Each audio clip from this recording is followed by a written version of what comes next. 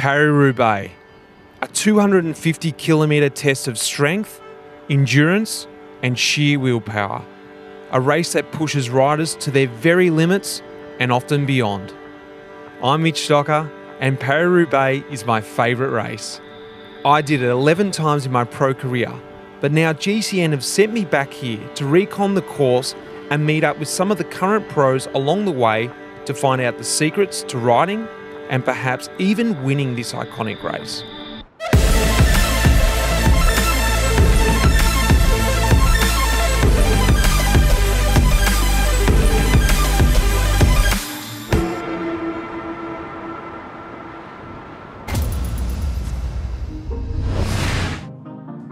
We're coming into Wallers, which in my eyes is the first key point of the race.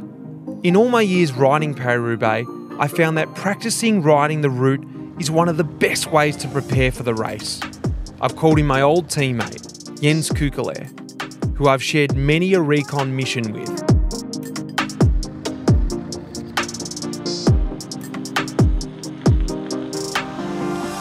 Hey, here he is. Mate, Hey man, what are you doing here? back in the old place. Let's do it.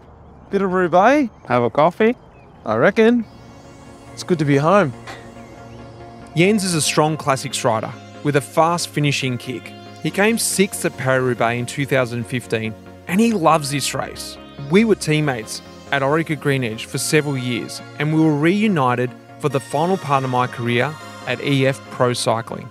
Well, Jens, mate, where are we? Where? What is this place? It brings back good memories being here.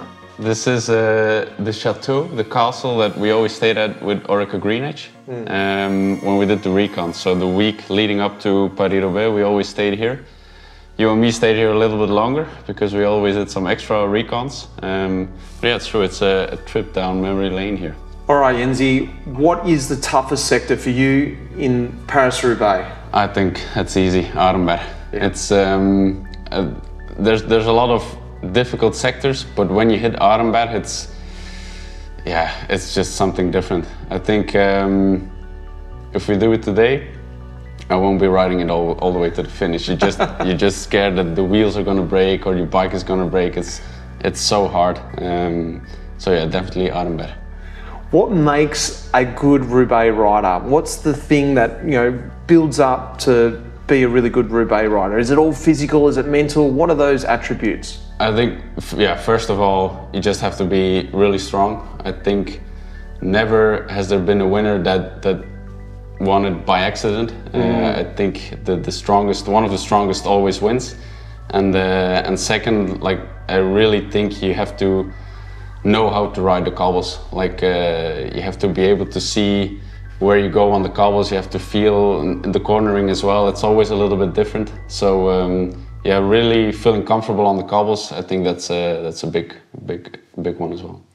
Should we go out and get back into it, old style? Get behind the motos and I'm ready. oh, let's do it then. I'm looking forward to it.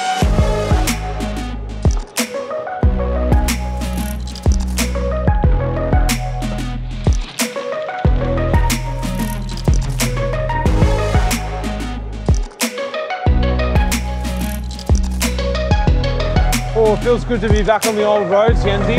Yeah. When you just get to this area here, it all feels like Roubaix, doesn't it? It takes you right back to it. So I live really close to the to the border with France. Even on training, I can I can ride to France, and as soon as you cross the border, that whole region here, you just feel like okay, this is Paris-Roubaix. The roads, the little towns, the speed bumps, Everything. like everything. It just feels like it, doesn't it? Yeah, yeah, yeah. Do you like all Wallers? the second- Arenberg, uh, this sector, yeah, I like this one. Yeah. That's this is something that changed a lot for me. Like I remember the first reverse I did as a professional. This was always one of the key sectors because, yeah, a lot could already happen on this sector, and there was always something that happened here. So this was an important sector if you wanted to be in the front. Uh,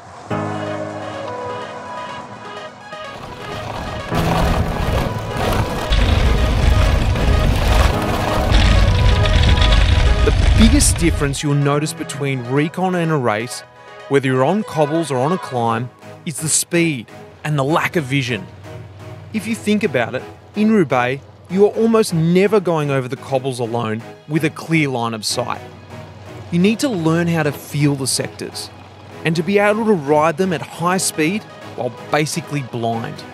It can be scary. There you go, mate. Yeah, it's still there. Still here. On race day, all the cobble sectors start blurring into one. But when you see the old mine on your left, you know what's coming next. In the 50s, race director Jacques Goddet decided the race was becoming too easy. It needed more difficult cobbles. Jean Stablinski, a top pro of the era and a local who had worked at the mine underneath the forest, suggested including the Arenberg Trench.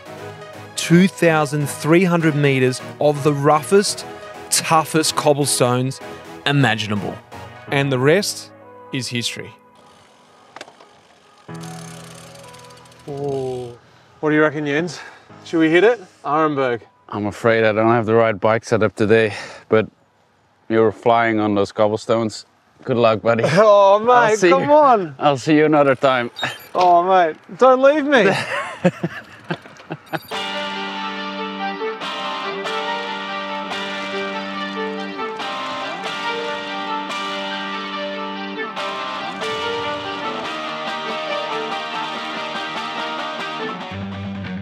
My next stop is another place of real significance.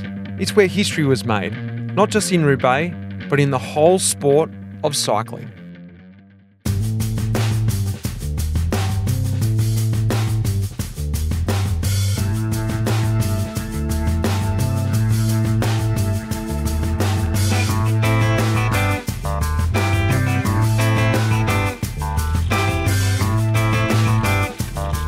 Well, here we are at Hornaing, another tough sector, but this one's newly become iconic because it's the first sector of the very first women's Paris-Roubaix in 2021. I'm going to be joined by Amber van der Hulst, who's ridden both editions, and we're going to tackle this one together. Amber is a Dutch cyclist who competes on both the road and the track. She's well suited to the Cobble Classics and has a fast finish. One to watch out for Roubaix in the future, that's for sure. Oh, here she comes. She's coming in hot. Oh, here she is. Hey, Hey. Emma. Hi. great to see you. Yeah, nice to be here. It's a bit cold. Yeah, this is a bit of- Roubaix. it's nice, like the atmosphere you get already here. it's really. When you arrived here and you came to this sector, this was the first sector of the first edition. It was wet that day, a little bit like today, maybe even worse. What was the feeling like in the peloton? Nervosity was so high.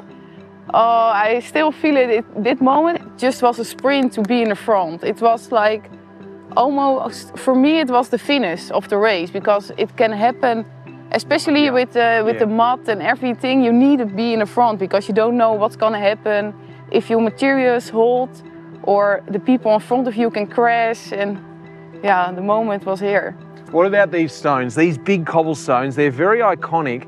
After doing the, your, your two editions, do you love Roubaix or do you actually hate it? No, I love it. You do? Yeah, yeah, I really. I, it's high on my list to. Oh, I really. Every year I hope to race this. Uh, this race. It's it's special. Also the crowd Yeah. around the cobbles and family is always standing here to shout to me and. It's yeah, it's special. It's it's you never know what's gonna happen and who's gonna win. There are so many circumstances that can change the race. It's yeah, I hope I can end well in the future here. Do you think you're suited to Paris-Roubaix? After riding it for a couple of years, do you think it suits you? Every race I finished here, I'm like, damn, I want to win this race. I think uh, it's it's flat, but hard and still technical. So and of course the the finish in Velodrome. I'm also a track rider, so Mm. it's yeah. I hope to win here. Well, let's Yeah. get some more practice Yeah, in. for sure. Let's go.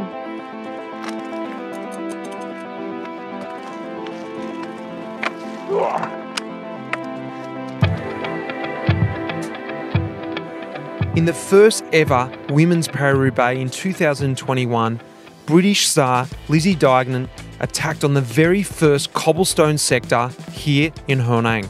She rode solo for over 80 kilometres and left the entire peloton trailing in her wake. It was the most epic way to celebrate the first women's Paris Roubaix. Probably felt like this race day, all wet and slippery, didn't it? Oh yeah, really it was. And also you couldn't go to the side of the road, so you need to stay on the cobbles. Do you practice training on the cobbles? No, never actually. No. It's just go and don't think. What do the rest of the girls in the team think about Roubaix or in the peloton? And a lot of girls prefer not to ride this race. yeah. You love it or you hate it. All right. What do you think is the hardest sector for you? What is the, the hardest one? I think for sure this one is one of the hardest. I think this is the moment where you see everyone is good or not. And I think Carrefour, it's the end of the race. Yeah, those two. What about in the first edition? Lizzie Deignan attacked there and she won the race from there.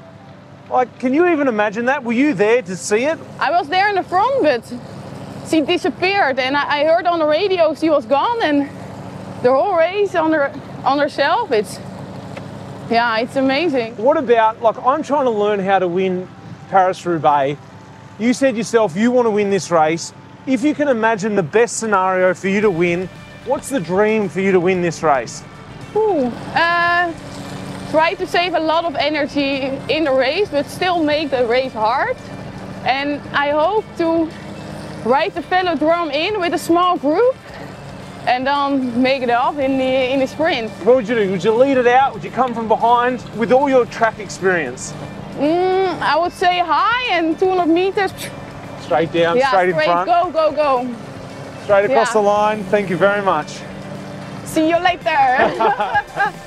Well, I'm going to keep going. Yeah. I've got to head on my way to Roubaix.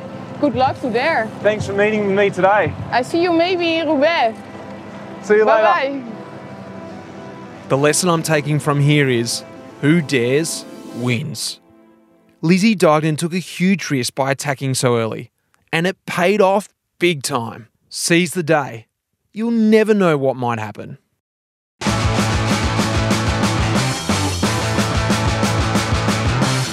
Yo! There he is.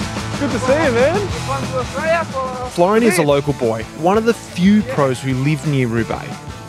He's the French national champion and he's always one of the favourites when it comes to Roubaix. So I've got plenty to pick his brains about. So, Florian, these are your home roads. What was it like growing up with Roubaix in your backyard? Like as a small boy, having Paris Roubaix right here where you grew up? Yeah, when I am young, I go here with my friend and uh, we imagine some uh, dreams. Imagine you do Paris-Roubaix one time or you do Paris-Roubaix with a quick step team. That is maybe 15 years ago. I already did eight times Paris-Roubaix and every time I am disappointed because I'm not in the podium or I'm not one. What do you find is the most difficult sector of Paris Roubaix? Ah, it's a good question because, okay, Arenberg is hard because the cobbles is very, very shit. But for me, depends the wind. If you have a crosswind after one corner, example Carrefour de l'Arbre, Mons-en-Pévèle, you have some echelon in the cobbles. Plus the hill at the end. You know The- the The Mons-en-Pévèle? yeah the small Yeah, yeah. hill. So for me, the, the hard sector is Mons-en-Pévèle. What makes a good rider for Roubaix? Is it the strength, the legs? Is it the, the mentality? Ah, you need to be. Uh, if you if you have a 60 kilo, uh, yeah, 65 kilo, it's it's, it's not it's not easy. You need to be good position back on the saddle. You need to have also strong body, uh, legs, but also the the arm, the Heart, all the body, lungs, everything. and for sure good uh, concentration and good uh, technique. I think also you have to love the race too. You really have to love Ah, yeah, the for sure. cobbles. Uh, for sure, I love this race because when I want to be professional riders, it's because I watch every, every time I go on the road for watch Paris-Roubaix. Yeah. And, and, and that is because I want to do professional cycling because I love Paris-Roubaix. And also, when I am young, I am non-climber, not super good sprinter, but I am strong only on the cobbles. It's been awesome being with you today. But I think this journey, I've always wanted to arrive at the Roubaix Velodrome on my own. So if you think you can keep up, good luck. I know, come on, Mitch.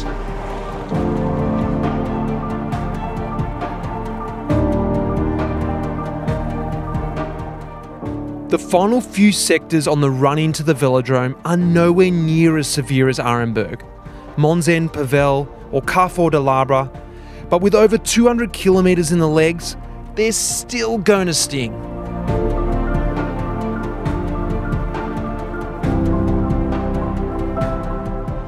Is it, the last hill, the last little rise in Roubaix, last chance to attack.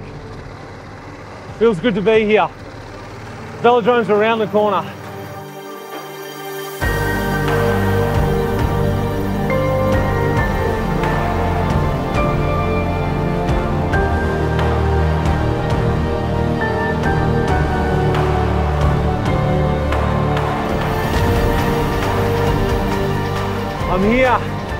I've made it. The iconic Roubaix Velodrome. Some seriously incredible moments have happened right here. Feels good to be here.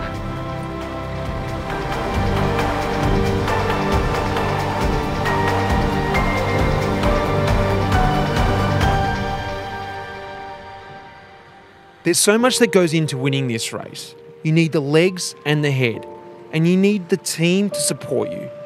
And you definitely need a bit of luck.